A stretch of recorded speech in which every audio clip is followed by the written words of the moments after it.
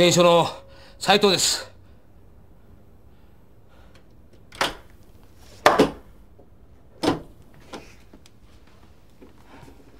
なんですこんな時間に。部屋の中を見せていただけませんか。どうしてです？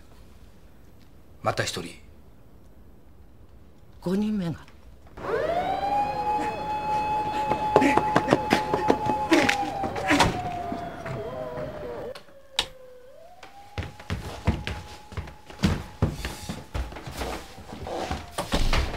害者はここで生活していたようですね。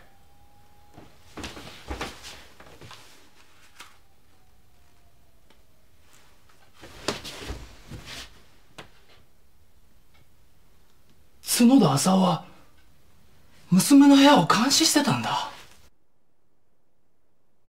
ずっとご自分の部屋にいたとおっしゃるんですか？そうです。しかしエレベーターは1階で止まったんですよ。この階に住んでたのはあなたでしょ犯人は玄関から出てったんじゃないんですか？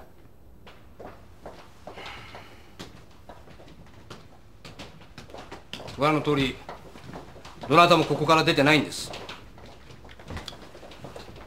後で話はゆっくりと伺います。ど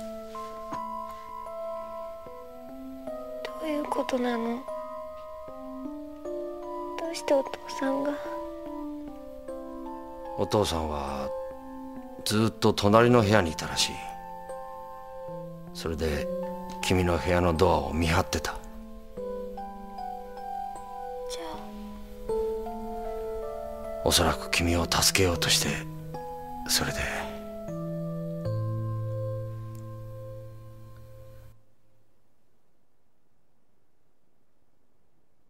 犯人の顔は見たか？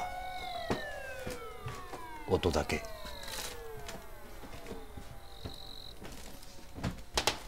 ご苦労さん。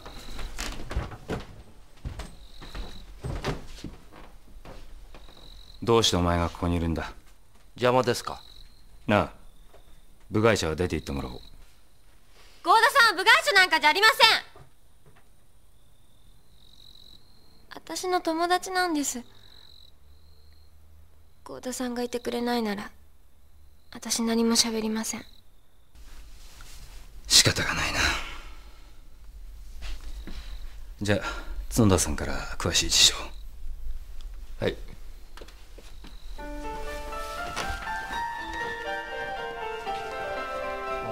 ご注射さまです。ゴーダンさん。ドイツの警察から本部に回答があったそうです。ZI は岩田善一郎でした。真央ちゃんのお父さんが？そうらしいぜ。でもどうして？娘を守ろうとしたらしい。皆さんすいませんがこの機械に見覚えはありませんか？それがどうかしたんですか？死体の横に置いてあったんです。どなたか見覚えは？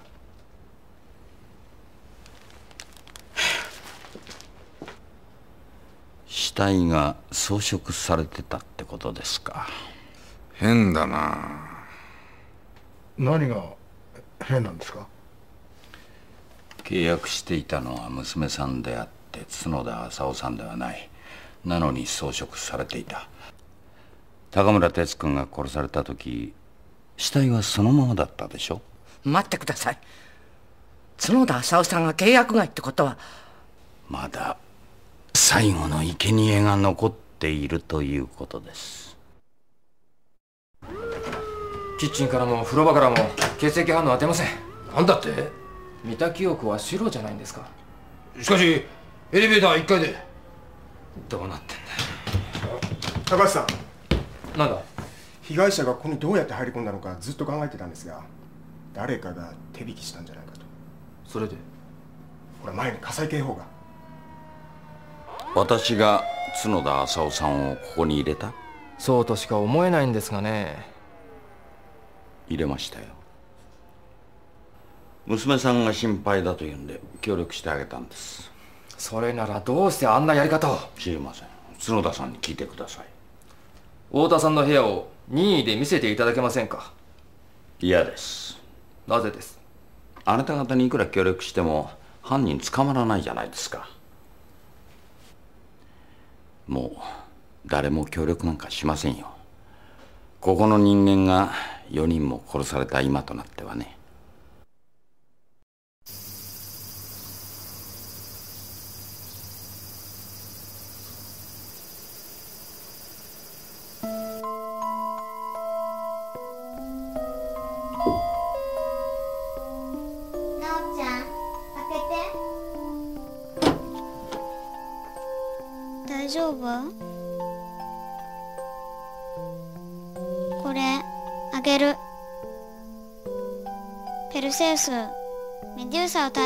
ペガサスに変えてくれた人。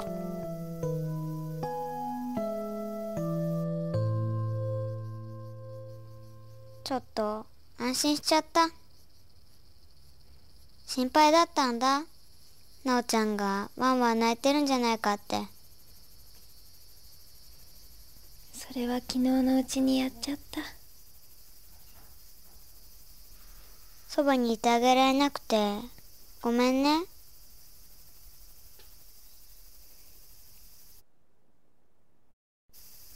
ありがとう。でも大丈夫。幸せなことに何が何だかよくわからないから。うん。本当にわかんないよね。容疑者ってもうなおちゃん以外の5人しかいないわけでしょ？今事件の話するの？だって心配なんだもん。なおちゃんが狙われたしそれにそれに？私のお父さんが5人の中に入ってるし。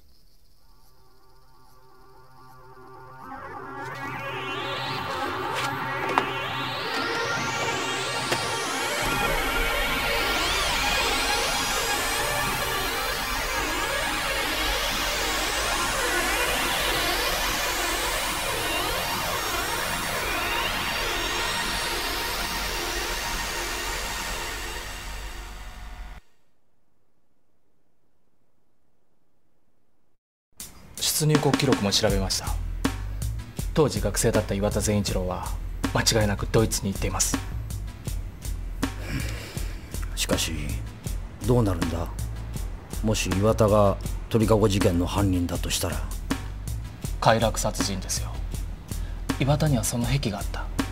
そんな奴を例の契約で縛れば連続殺人が起こるのは間違いないでしょじゃあ死体の装飾はどうなる？ドイツの事件じゃ死体はそのままだった。でも鳥類図鑑は一致していますよ。いややっぱり変だ。今回鳥類図鑑を持ち出したのは実行犯じゃない。契約を持ちかけた駒取の方だ。佐々木和恵何かがおかしい。まだ埋められないパズルの駒が残ってるんだ。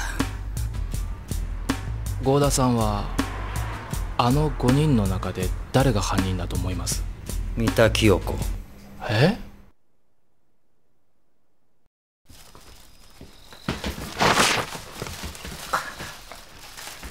誰です？なおちゃんには手を出すな。岩田さん。もしなおちゃんを殺したら俺が同じ目に遭わせてやるからな。るんです？あ私が犯人だと。そうだよ。迷惑な思い込みですね。やり損なったようだね。次は誰だ？私か？何言ってんだご自分への疑いをそらすためのお芝居じゃないんですか？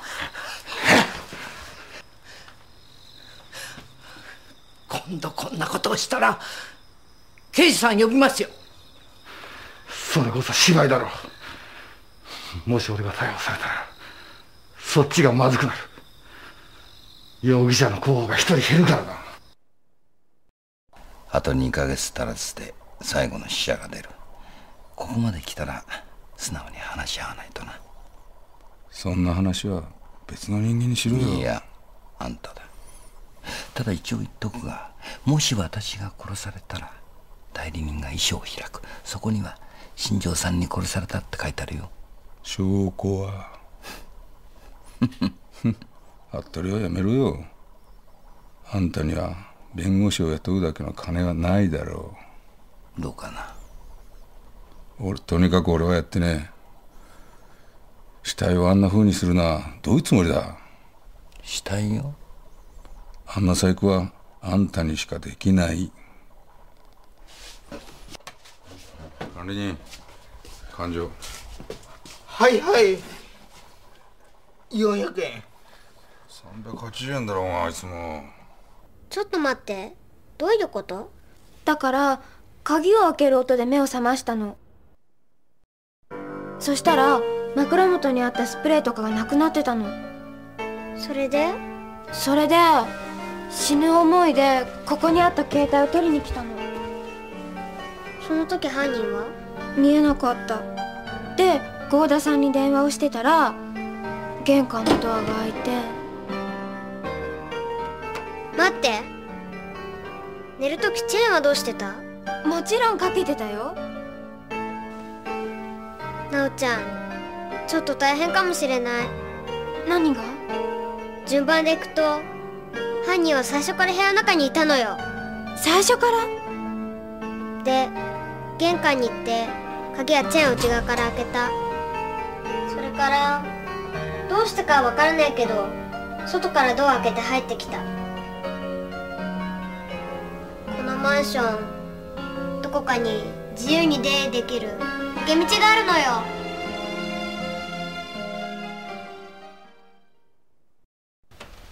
抜け道？じゃあいくら鍵をつけても。犯人は好きな時に入ってくる。どうしたらいい？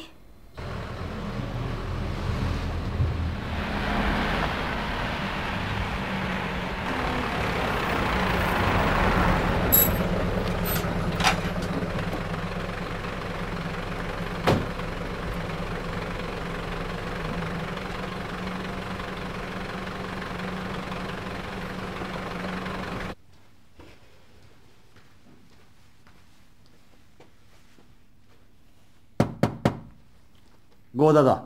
開けてくれ。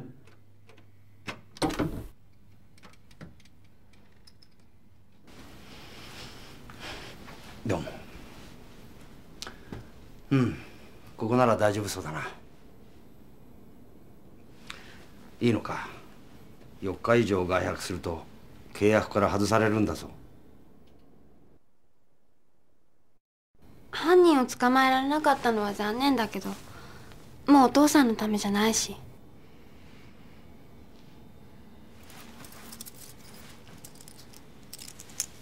部屋を見てきた。台所の天井が少しだけ動いた。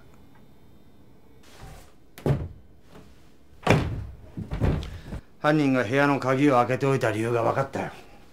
完全に密室だとすぐに通路がバレるからな。誰？合田さん宮川です。俺が呼んだんだ。遅くなりました。それで？まず合田さんの復帰話が進んでいます。俺の？ええ。捜査の方は完全に行き詰まっています。新しい証拠はない限り先には進めませんよ、うん、どうします？例の契約書と引き換えになると思うんですが。ちょっといいか？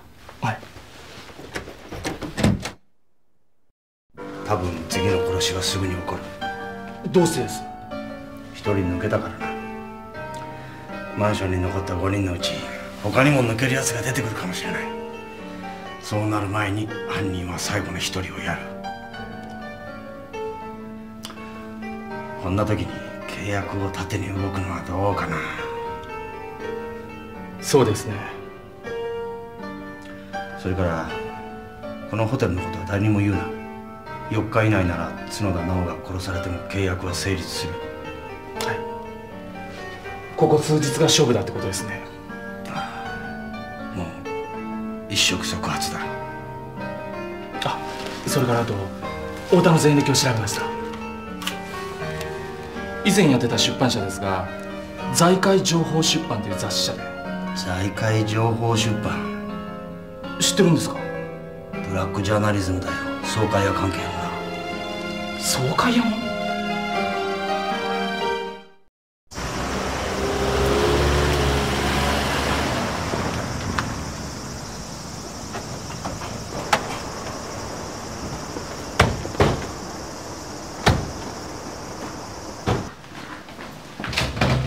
合鍵は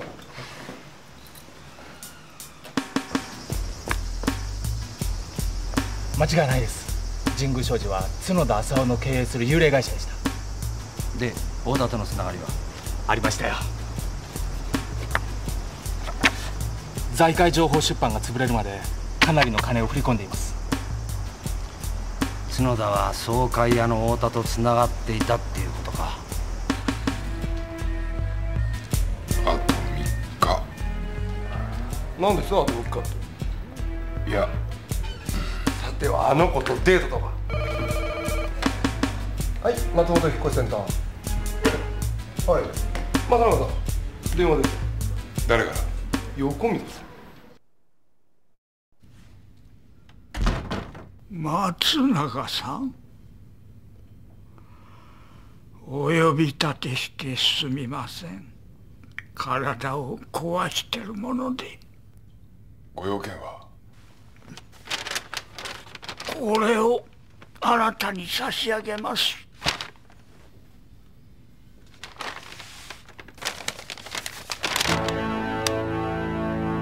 その代わりお願いがある。角田直さんにあのマンションに戻るように言っていただけませんか？うすればそのお金はあなたのものです。一千万あれば使い手があるでしょう。どうしてこんなことを？私の最後の仕事なんです9月30日まではあのマンションから誰にも出てもらいたくないのです。角田直さんに切り立てしたって何の意味もないです。よあの子は今気づきつつあるこの世の中がどんなに汚れているかにそしていずれは彼女自身もそのお宅の中に飲み込まれる。さあお金を受け取りなさい。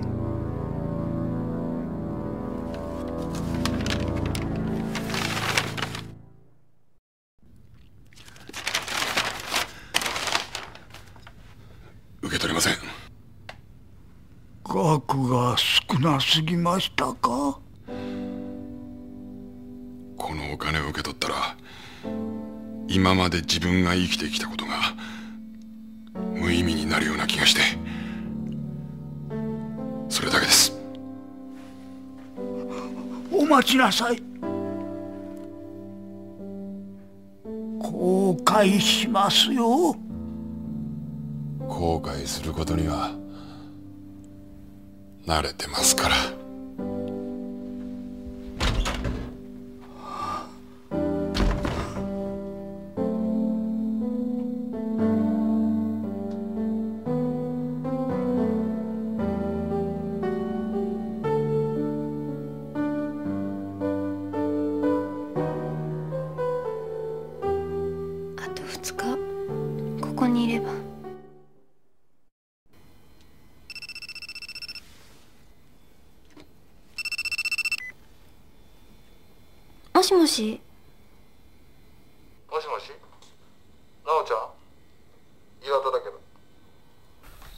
してるかなと思ってさ。うんこっちは元気。そマンションはどうなってる？うん。妙に静まり返ってるよ。嵐の前の静けさみたいだ。合田さんには口止めされてるんだけど岩田さんにだけは言うね。何？そのマンション抜け道があるの。だからいくら鍵をかけてもダメなのありがとう。分かった。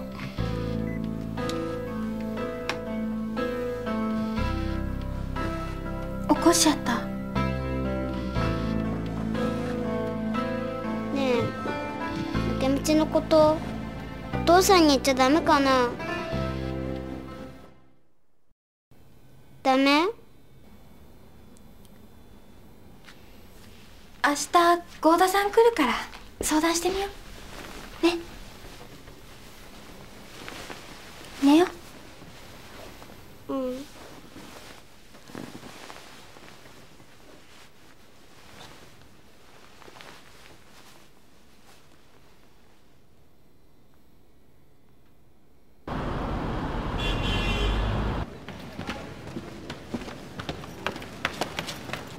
角田社長の葬儀の準備でバタバタしておりまして。お気の毒でした。あそれでその角田さんなんですがどういう経緯でこちらの社長になられたんですか？株主総会で選出されました。つまり角田さんには人望があった？というわけでもなかった。ではどういう？総会屋を使ったとか？違います。養女の財産なんです。二代目社長の石田孝之が15年前の10月1日に強盗に遭いましてええ存じてます。その後石田さんの一人娘を角田さんが引き取られた。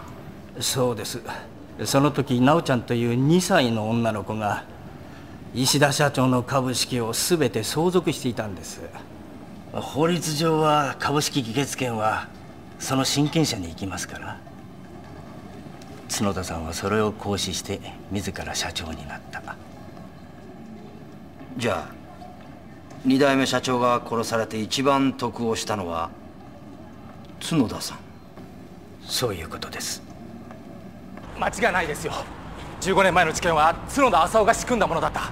総会や5人を使って石田夫妻を殺したんです。養女を直ちゃんを養女にして株を握るためにね。どうしました？全部分かったよコマドリの狙いがな。駒取佐々木和恵？例の契約が関係しているってことですか？石田夫妻の事件が起こったのは10月1日。例の契約の期限は9月30日だ。それがどういう関係か？契約の期限は15年前の事件の時効成立日だ。そしてあのマンションには石田夫妻の死に責任のある人間が集められてる。佐々木和恵の復讐。いやでもやっぱり変ですよ。お互いに殺したとしても5人は生き残るわけじゃないですか。それにあの死体の装飾だ。あの意味がまだわからない。どうします？角田直の契約解除まであと1日だって。明日です。よし。俺を捜査本部まで送ってくれ。じゃあいよいよ。契約明かす時が来た。一気に型をつけるはい。本部へ戻れ。緊急招集だ。何か動きあったらしい。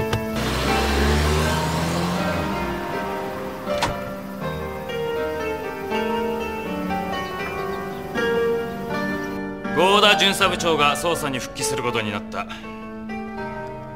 彼のもたらしてくれた証拠をもとに現在捜索差し押さえ許可状を請求中だ。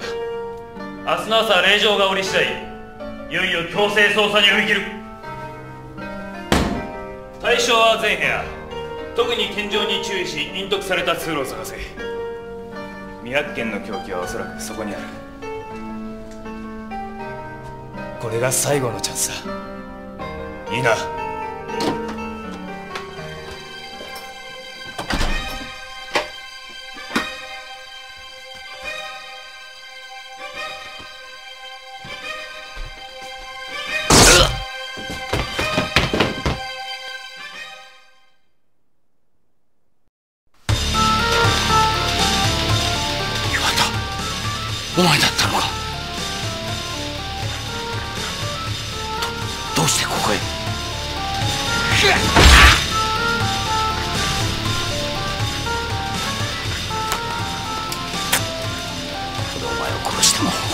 っちは正当防衛だ。そして契約は成立だアイス買ってきたよ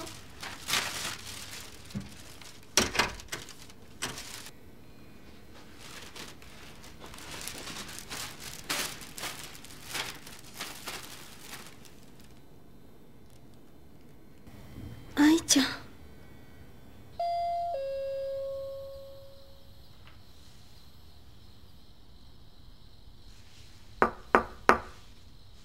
お父さんお父さん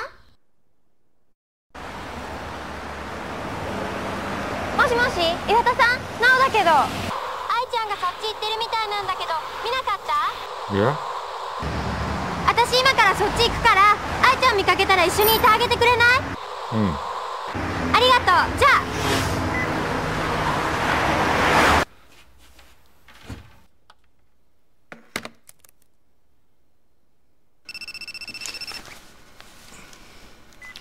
はい合田。あ合田さん今マンションに向かってるんだけど。どうして？愛ちゃんがお父さんのところに行っちゃったの。危ないよそれは。見つけたらすぐ戻るから。岩田さんにも頼んであるし。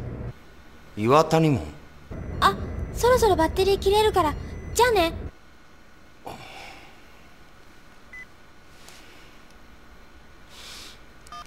合田さんお客さんです。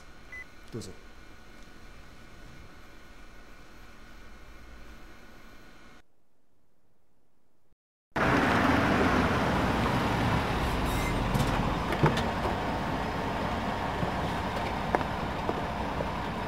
どなたでしたっけ？岩田です。岩田善一郎。もうそろそろマンション出ようと思いまして。待った奈緒ちゃんから電話を受けたか？奈緒ちゃんから？いいえ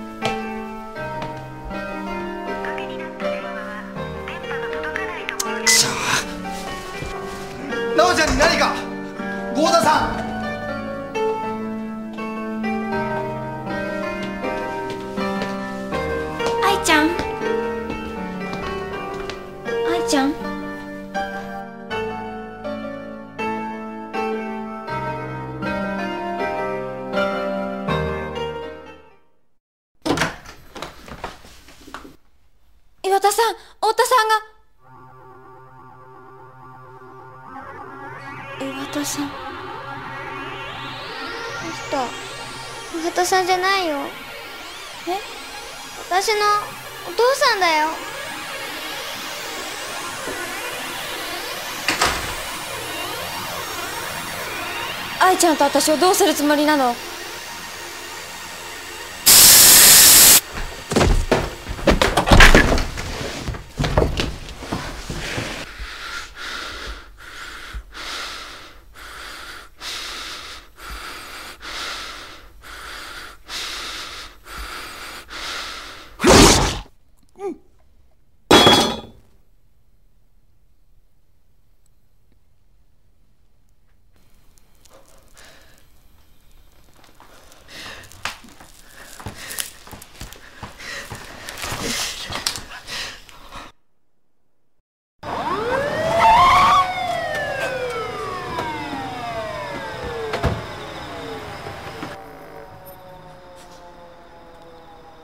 なお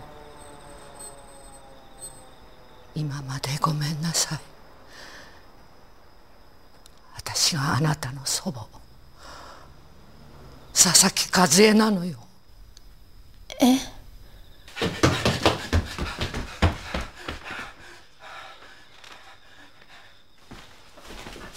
待って。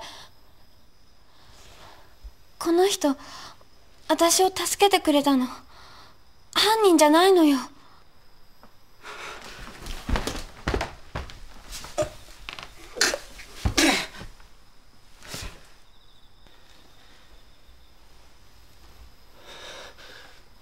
これはどういうことだ？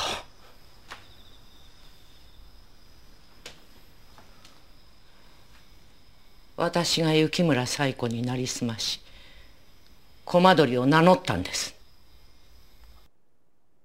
事情を話していただけますね。すべてはこの子の両親のためでした。15年前いいえ20年前のドイツからそれは始まっていたんです。精神科医をしていた私は学会に出席するためシュチュットガルトにいました。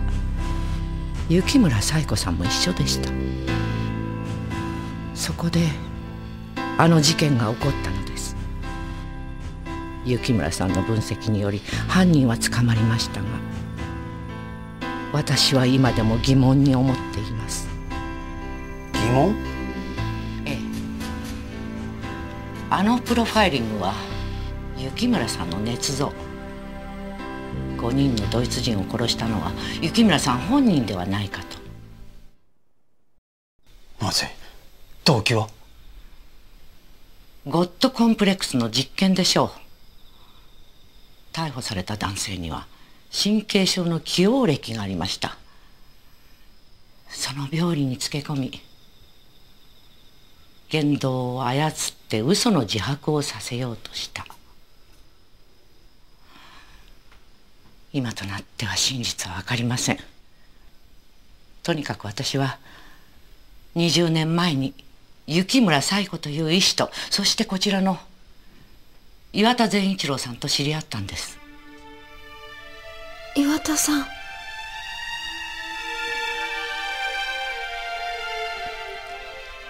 確かに俺あの時事件のあった宿にいました。それに日本人のお医者さんの面接も受けました。でも雪村って人と会ってないしそれに俺を面接した佐々木和恵ってこの顔に見覚えないでしょ？ええ。当然です。この顔にはメスを入れましたから。全ては15年前のあの事件のため娘夫婦の敵を討つために。15年前何があったんです？岩田さんは運転手兼ボディーガードとして娘夫婦の家に住み込みました。そんな時初孫の直も生まれ本当に幸せな日々が続いていました娘夫婦が何者かに惨殺されたのです。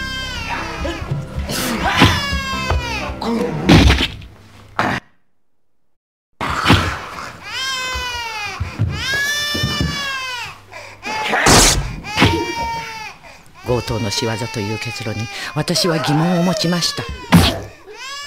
なおだけが恋に助けられていたからです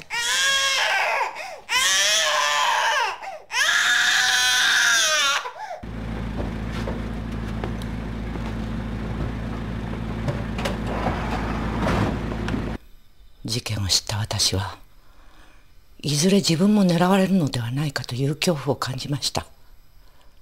それで直の無事を確認すると身を隠したんです。事件の真相を調べるために。そして全ては角田浅尾の謀略だった。そうです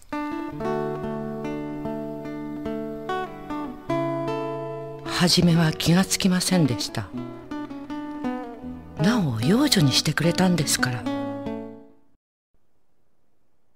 しかしなおの相続した株式を使って角田が社長に就任した時私には全ての筋書きが見えてきました。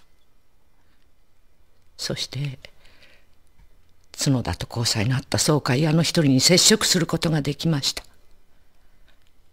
片瀬五郎です。罪の意識に苛まれている片瀬に私はカウンセラーとして近づきついに決定的な証言を引き出しました。僕は8年前人を殺しました。この手で人を殺したんです。どうして警察に届けなかったんですか？それでは片瀬だけが捕まることになってしまう他の4人は処罰されずに生き延びてしまうんです。私は全員に罰を与えたかった。そしていつしか頭の中にあの契約が浮かび始めたんです。片瀬のカウンセリングを続けるうち全員が借金まみれになっているのを知りました。総会屋の取り締まりが強化されたためです。同時に彼らは角田朝をゆするようになり6人全員が借金地獄にはまっていきました。そんな時あの事件が思い出されたんです。一つのヤードの中で5人が殺されそれを再現すれば娘夫婦の復讐を果たすことができる。しかし犯人グループは角田を含めて6人。人生き残ってしまうんじゃありませんか？その一人に殺人を犯させればよかったんです。私がその証拠を集め最後の一人を死刑台に送り込む。それが最終目標でした。しかしそんなことが可能なんです。ゴッドコンプレックスです。私はすぐに雪村冴子さんに協力を求めました。学会を追放された彼女は世捨て人のような生活を送っていました。詳しい状況を話すと雪村さんは興味をそそられたようでした。そして一人の人間を連続殺人者に仕立て上げる計画を練ってくれたのです。同時に私は手術で顔を変え養護施設に入り込みました。カウンセラーとして新庄愛という子に接触するためです。愛ちゃんに？関係者のうち新庄だけが行方がわからなかったんです。そんな時予想外のことが起こりました。雪村さんは自殺を遂げたんです。理由は分かりませんでした。この時いよいよ計画が最終段階に入ったのを私は感じました。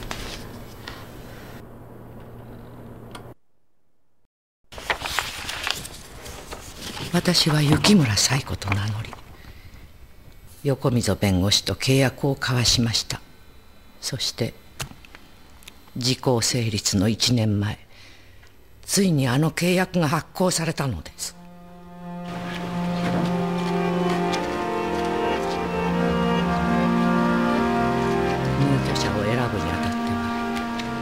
娘夫婦の死に責任がある3人の男女も加えました。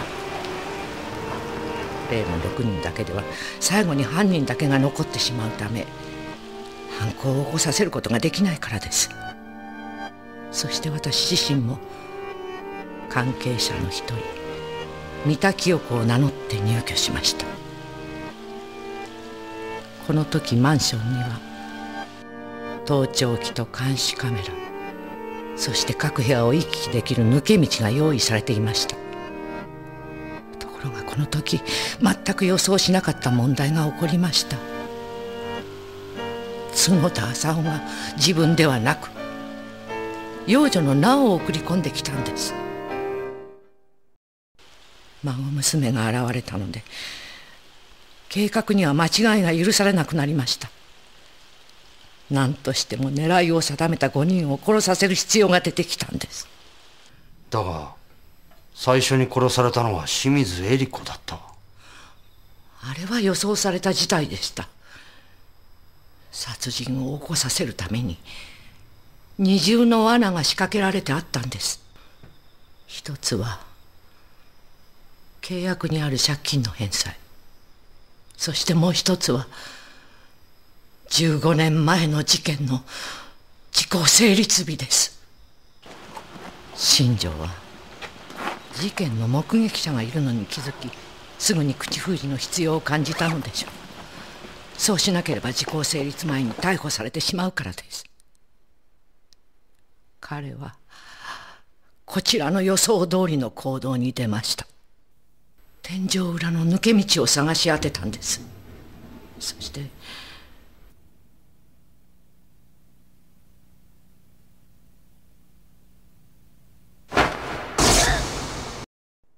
犯行を知った私は新庄が去るのを待って7号室に行きました。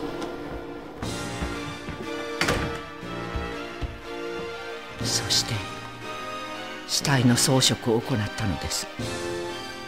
それはさらに新庄を殺人に駆り立てるための3つ目の罠でした。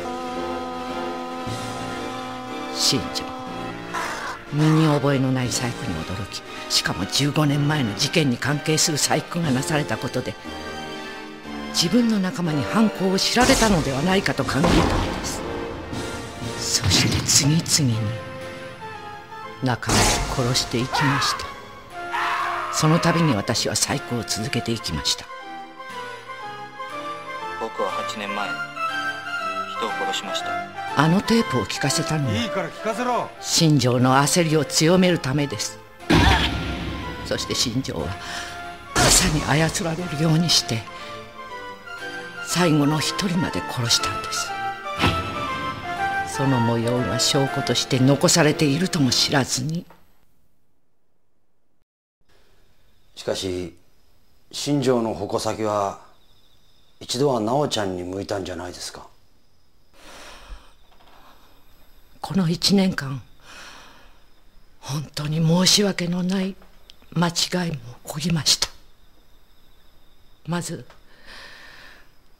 高村哲という青年ドイツの事件と部屋番号が一致してしまったのは全くの偶然でした。でもそのためにそれからなおの対抗記憶。新庄はあの時目撃者がもう一人いたことに気づいたんです。だからなおそうあの時から新庄は岩田さんに罪を着せようとしたんでしょう。鍵を内側から開けわざわざ外から入ったのもそのためです。しかしその時角田さんはお父さんが。角田浅尾の行動が一番意外でした。なおの警護役を雇ったばかりか自らなおを守ろうとこのマンションに入り込んだんです彼はいつしかなおの本当の父親になっていたんです。そして自分の死をもって過去の罪を償ったんです。私の過ちはなおを愛する人たちがいることを考えなかったことでした。この15年間復讐の1年だけに取りつかれて何も見えなくなっていたんです。でもこれで全てが終わりました。刑事さんこの腕に手錠をかけてください。おばあちゃん。死体損壊はおそらく新庄がやったんだ。今となっては誰にもわからない。いいな。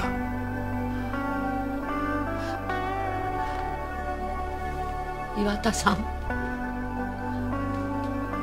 ごめんなさいいえ。石田さんたちにお世話になったのに見捨てて逃げちゃって。すいません。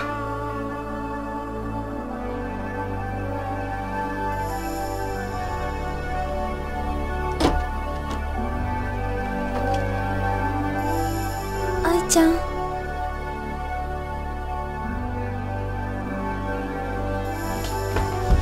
大丈夫だからね。ずっと一緒にいるからね。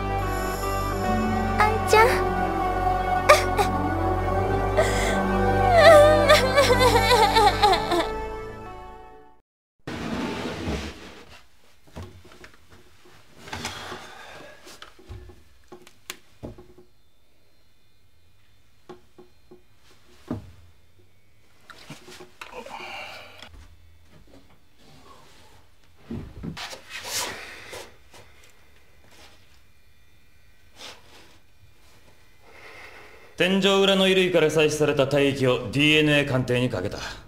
結果血液は被害者のものと汗や毛髪は新庄のものと一致した。またゴム手袋の内側の指紋も新庄のものであった。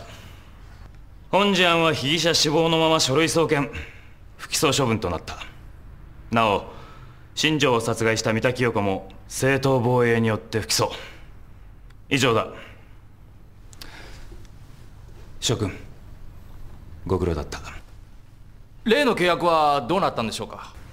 雪村彩子は死亡しているものの契約者が横溝弁護士となっているため違法性は認められなかった。あれはまだ生きている。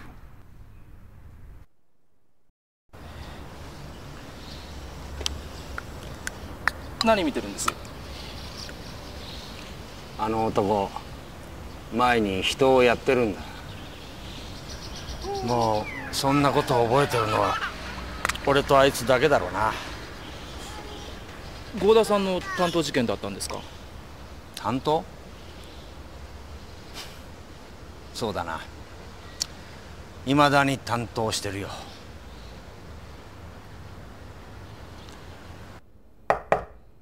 英子さん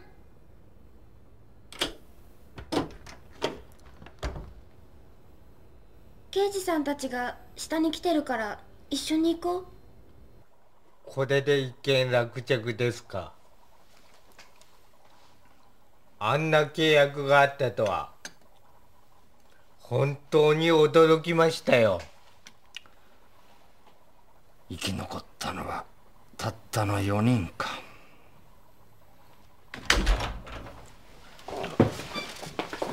どうぞこちらの方に契約の条文には直接的に殺人をそそのかす表現などがなかったのでまだ効力を持ってます。あと数日ここで過ごせば横溝弁護士の方から保険金が支払われるでしょう。太田の貸金庫などから押収されたこの契約書ですが皆さんにお返しします。おばあちゃんとの生活はどうだい？まだ慣れてないの。これからゆっくりね。ところであの子はどうした？愛ちゃん？会えないの？どうして？精神的に激しいショック状態に陥ってまして私がカウンセリングを始めた頃に戻ってしまいました。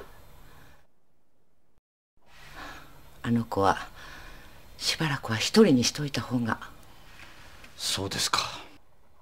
ねえおばあちゃん。何？新庄さんってお父さんとお母さんにずっと叩かれたり蹴られたりしてたんだって。新庄さんが？もしお父さんとお母さんがぶったりしてなかったらどうなってたのかな？それはわからないわね。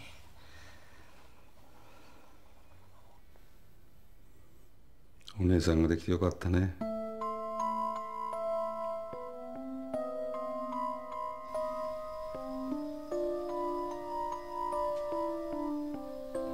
なおちゃん。なおちゃんが。危ない。なおちゃん。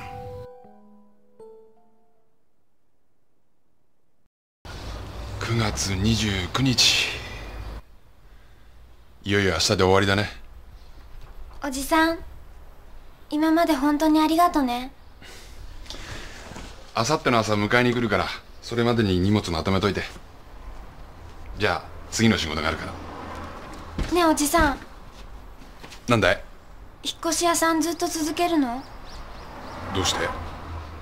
私ここを出たら学校辞めて働こうかと思ってるんだけど。うん。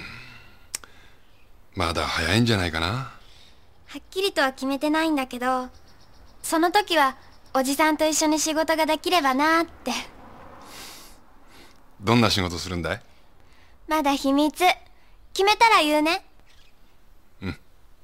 じゃあ。契約の最終日か。郷田さん出ましたよ。保険金の額が。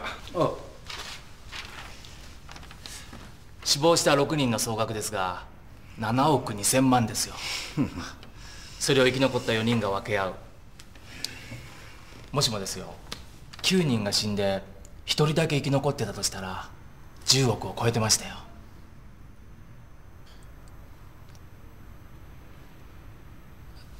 どうしました？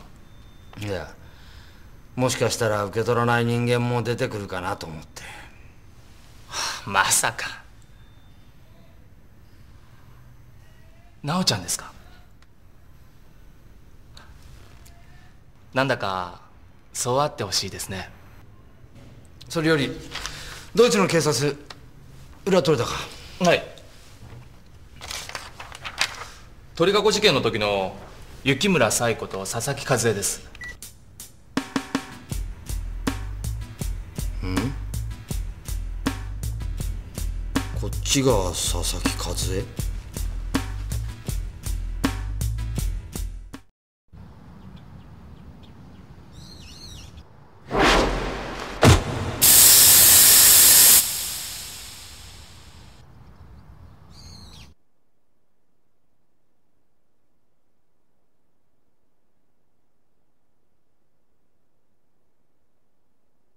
敬愛学園ですか？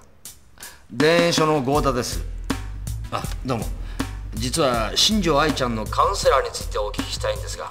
カウンセラーですか？ええ。その方はいつから愛ちゃんのカウンセリングを？去年の夏からですけど。去年の夏？ええ。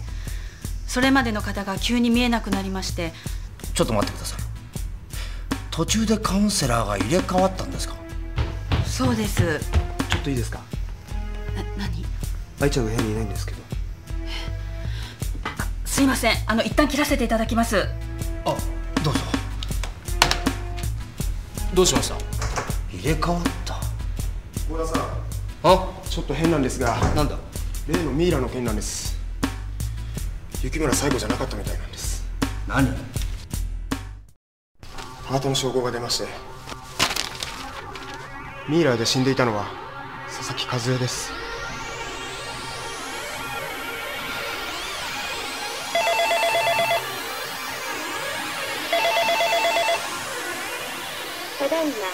にしております。ピンチとなったらお話しください。もしもし。いないのか。行動だ。おばあちゃんには近づくな。あれはおばあちゃんなんかじゃない。雪村最後だ。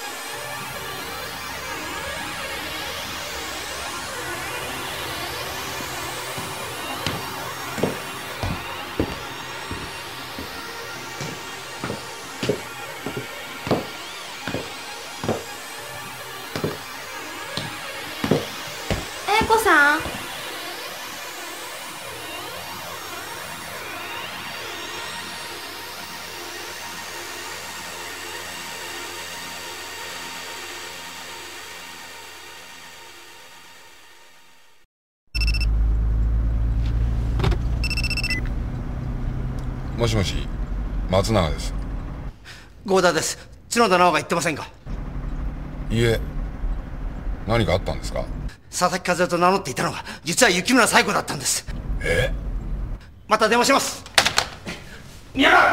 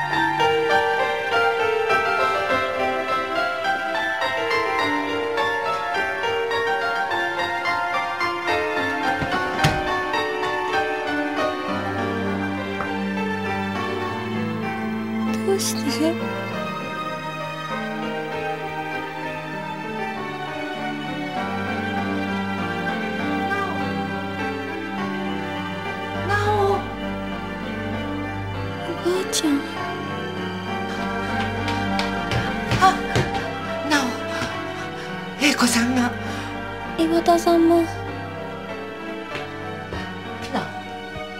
おここでよ。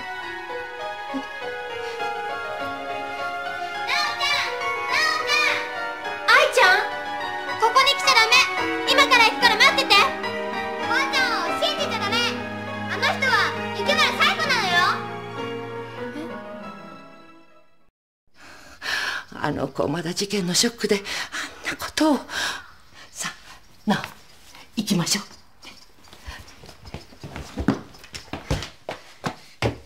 その人が本当のおばあちゃんを殺したのよ何を言ってるのよ愛ちゃん。おばあちゃんの計画をお金のために乗っ取ったのよ。公園で私を襲ったのもこのマンションで顔を見られたらまずかったからでしょ。なおちゃん逃げて。なおこの子とおばあちゃんのどっちを信じるの？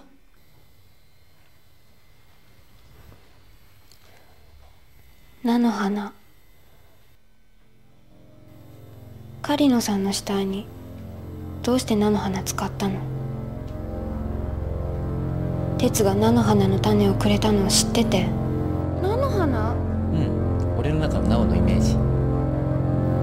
私たちに罪をかぶせようとしたんじゃないの？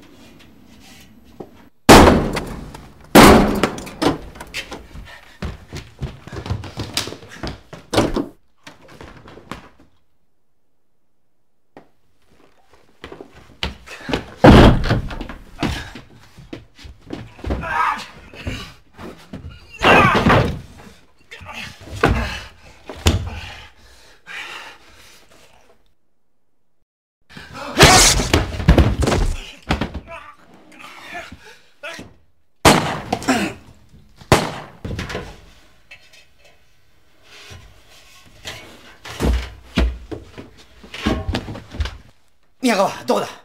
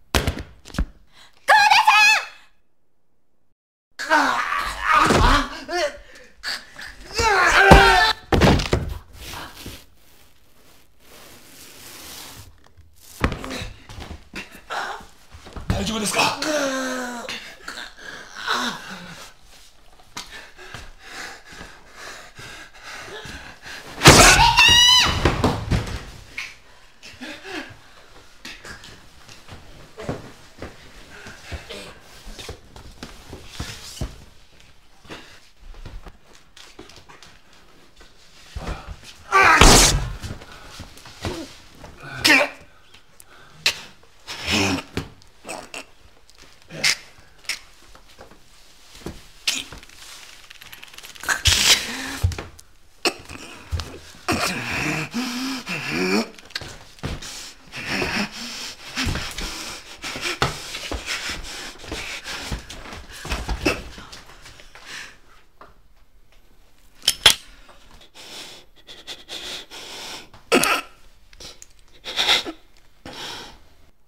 たばれ化け物。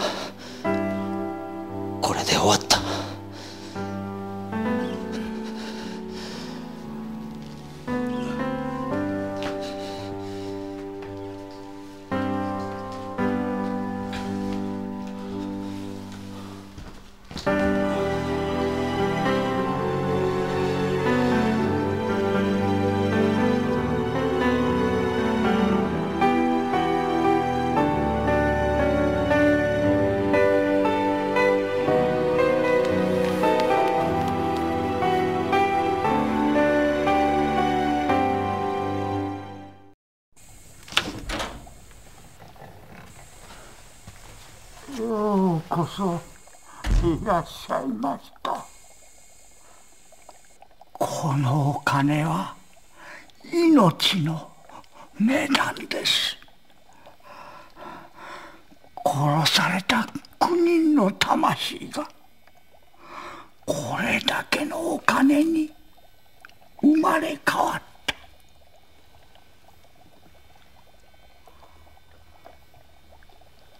受け取りになりますね。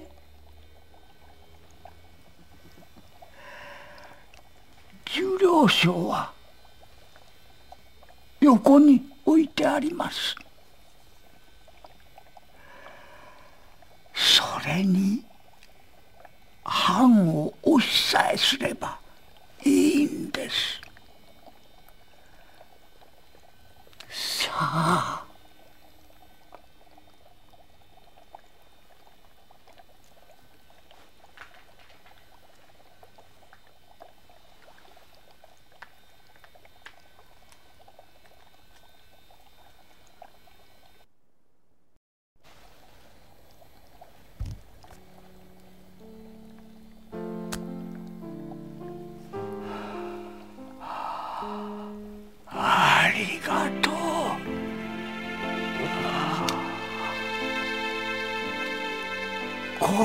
がどんなものかよくわかりました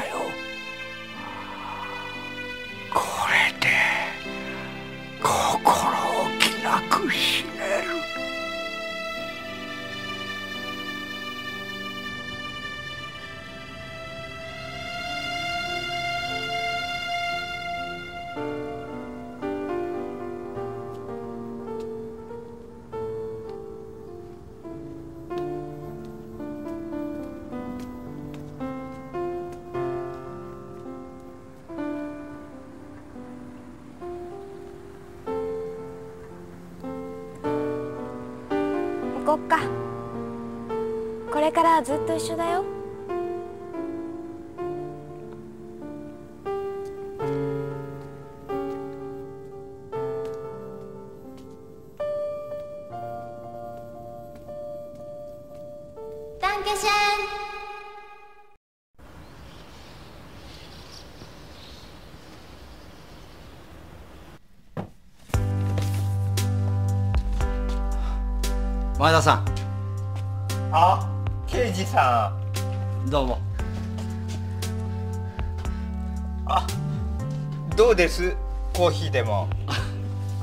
ただきます。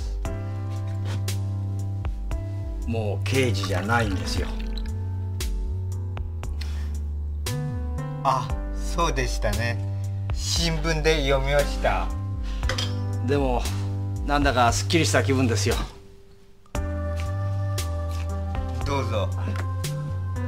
その後連絡ありませんか？なおちゃんですか？それがないんです。合田さんのところにも。松永っていう知り合いがいたんですがその人とも連絡取れなくなりましてね。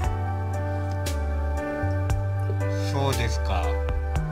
いい子だったのに。ああいう子はずっと変わらないでいてほしいですね。まあいろいろありましたがこれで終わりですここはどうなるんです？買い手がついたらしいですよ。買い手が？よくこんな物件が売れましたね。安く買い叩いたんじゃないですか？事件につけ込んで。あさってから取り壊し作業が始まるみたいです。で前田さんはこれから？私はマイナスからの出直しですよ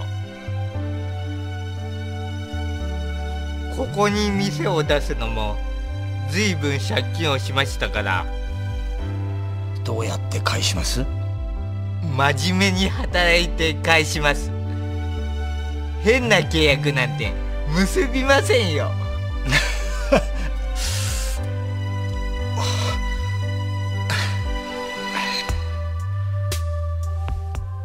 跡地はどうなるんでしょうね施設になるとか。施設？ええ。恵まれない子供たちの養護施設ができるらしいですよ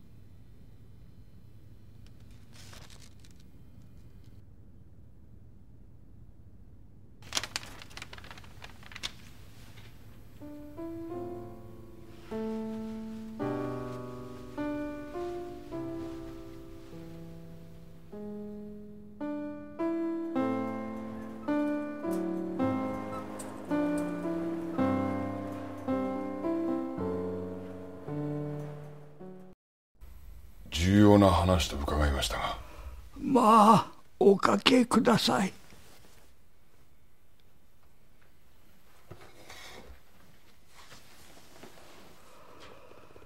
松永さんは昨年離婚なさいましたね。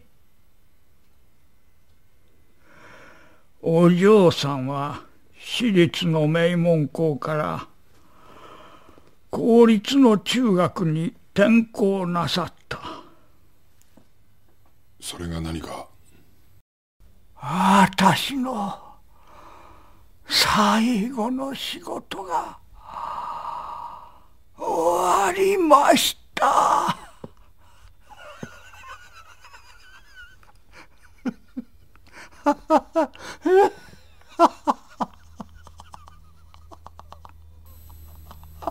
最後の仕事じゃないよ